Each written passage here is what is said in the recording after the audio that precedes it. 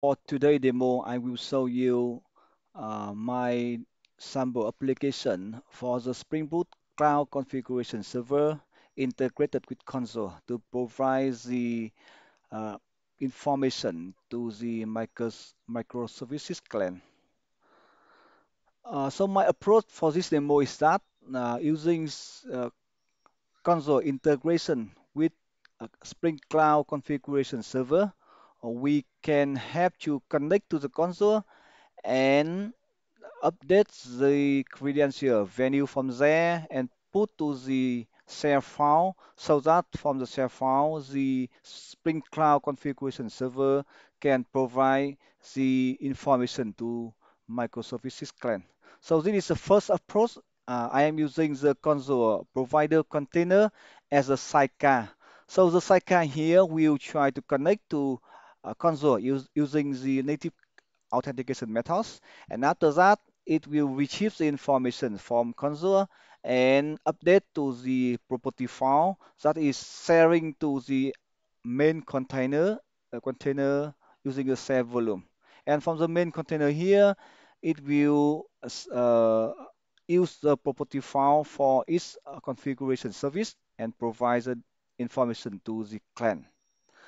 My second approach is here. Uh, I also have in my demo is that uh, for this approach, I don't use the sidecar container, and besides, um, instead of that, I will use the scheduler to uh, connect to the Conjur. Actually, the scheduler will use the Conjur plugin, the Spring Boot Conjur Spring Boot plugin to connect to the Conjur and from that it can uh, the information and update to the property file directly. So with this, this approach, we don't need to have the sidecar container running with the uh, main application, right?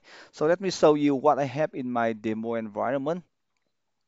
So this is my Conjur uh, system. I have some of the uh, secret information here uh, for testing. I have the uh, one set of the uh, secrets for the host one and the other set for the host two for my two use cases. So uh, you can see here, right? For example, for the host one, I have the value of the host one. As you can see here, the uh, my mysql.demo.local. Uh, the username, uh, the password will be cyberark1, and the user will be uh, ctapp, right? And the second uh, set here, the host will be test.mysql.demo.local. The username will be uh, as well, the same. And the password here will be something like uh, here. I let me change to something else. Save it. Right. Let me change the other password to something else. Uh, one, one, one, one, one, one. Yep. So that is for my Conjur. So for this demo, my application is running on OpenShift container platform.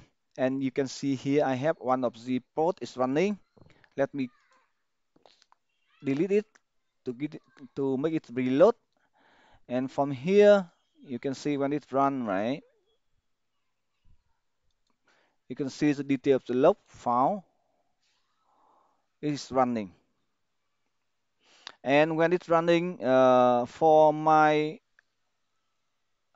first approach right I will have the sidecar container running together with it and this sidecar container will connect to the Conjur container every 30 seconds to update the information so you can see from here, right, it will do the authentication using uh, the WT token and check for the content of the uh, secret from the parameters and update to the file, right? So using this method, you can see uh, uh, the file will be shared to the client, uh, to the uh, configuration server, and it will have the information to to do its job, right?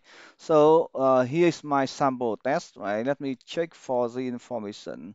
So I will use the Postman to send the request to the configuration server using this uh, right? So when I send the request, you can see now uh, I get the detail of the secret from uh, the authentication server. So actually, this this information uh, is uh, um, retrieved from uh, Conjur, right?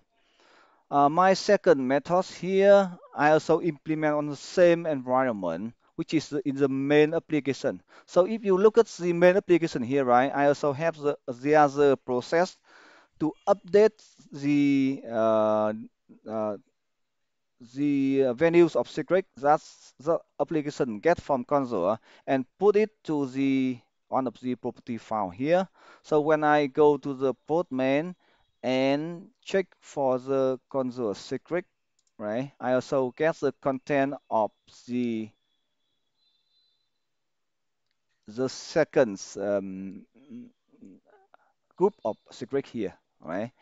Uh, that is uh, how it works with the second approach.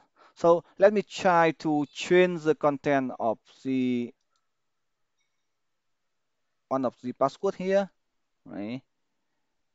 And check for secret, change to something like uh, 99999 and save it. And now let me re refresh back to the first approach, right? And send it. Now it can it will be changed, update to the new values of secrets. For demo purpose, I didn't add any security layers or authentication method between CLAN and configuration servers. So you can see they have some the risks there, uh, such as uh, data address or authentication uh, from CLAN.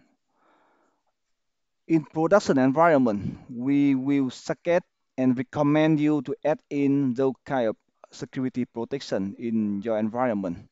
But that will be a, another topic to discuss for now. Thank you very much.